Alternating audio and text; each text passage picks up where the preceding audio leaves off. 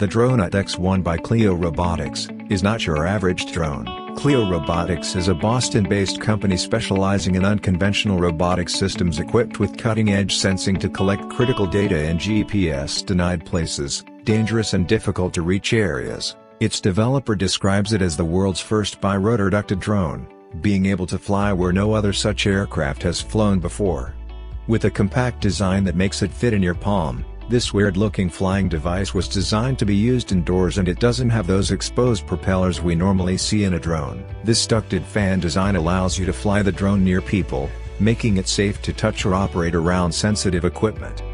Cleo equipped the Dronut with a 3D LiDAR, a 4K camera, a global shutter camera for precise positioning, advanced algorithms, and LED headlights, making the UAV reliable in GPS-denied areas.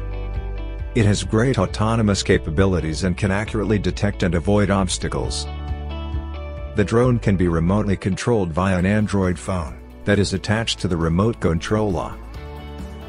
This flying donut packs a rechargeable battery that offers a flight time of 12 minutes. 40 minutes are necessary for the drone to be fully charged. The Dronut X1 weighs only 425 grams and measures 6.5 inches by 4 inches. It uses Cleo's patented thrust vectoring technology and is powered by a Qualcomm Snapdragon processor. The drone is far away from being cheap. Cleo Robotics are commercially shipping its Dronut X1 drone at $9,800. It is designed for law enforcement, industrial inspection, construction and defense applications.